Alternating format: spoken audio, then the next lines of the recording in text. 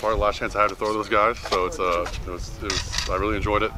Um, you know, I have a chance to come out here and run around and kind of do all that work. You're training for pro day. You're not really doing a lot of football stuff. So kind of nice to get that stuff over with. Not have to worry about you know, your 40 stance anymore and those kind of things. But like I said, it's nice to come throw the ball around and kind of get back in football mode.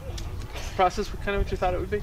Um, it was. It's just it's just such a strange process. I mean, especially here since I stayed here on campus to, to finish school, kind of working on your own. You're just trying to follow like a, a weightlifting program. It's kind of a weird thing. Plus, when I'm here, I see the team walking around, and you know now I'm just some guy who's kind of stuck in the middle. Um, but you know, it's it's a strange process. You don't really know what to expect, but you know, I've enjoyed it. Did you, did you talk to a lot? You talk to a lot of guys that, that have been through this before to kind of know what to expect. Yeah, I mean, like, especially my brother. I mean, having him Right. where he did the same thing last year, where he stayed at school, worked out, and so basically he kind of gave me, I mean, I guess the warning on everything. And then with my talking to my agent and guys like Jean, you know, who, who- who've been through the same process before, they know kind of the, the troubles that you may have along the way, and they kind of help help walk me through it. Is there pressure uh, when you're when you're you're not only throwing for yourself, but you're you're trying to put these guys in good positions for their own? Exactly. I mean, obviously you're trying, you're trying to throw the ball as hard as you can for a lot of times, but you're trying to throw the ball accurately as well. So you, know, you, you miss a pass, you think, hey, you know, obviously you don't want to do that, but um, and that's a chance for them to get a catch. So it's kind of, especially when we're creating the scripts, I'm trying to find stuff that they're good at, that, that we work well together, and so you're kind of like a little give and take there working with receivers.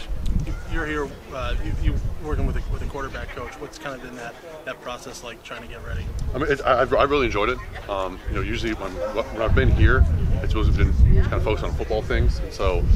And working with Coach Kruger, it's been a lot of you know, kind of the, working on passing and throwing motion mechanics, which I you know I haven't really done that much before, and so it's kind of nice to kind of you know, kind of relearn the football a little bit and make sure I'm more firmly down throwing the ball and all my footwork. What's what's his name? Uh, Coach, uh, it's Todd Kruger.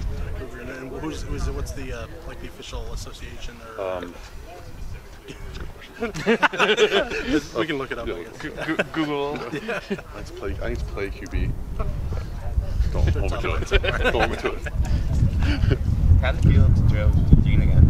It was good. I mean, just having him out there, he's so he's huge. You can't really, if you miss him, it's like you really missed him. um, he's just so long, and I mean, you have the guy running around. It kind of, I mean, having my junior year was, was awesome, and having him back here today, I mean, he's still in great shape. Um, he's getting pretty old up there. I think he might take me to get the senior citizen discount somewhere, but um, you know, he's, uh, he's he, was, he was doing a great job, and for him to come out here with you know really a week working with me, it was, it was, he did a good job. Case on too. That's uh, I know, yeah. We're trying to throw. He, he's throwing stuff in there, and plus I'm looking at him down the line. He's like, "What is going on?" But mean, he, he did a really good job. Um, you know, he's, he's always been such a great athlete, and you can see that stuff where he's doing DN drills, dropping in cover, catching the ball. I mean, that's something they noticed when he was doing the, doing the drills.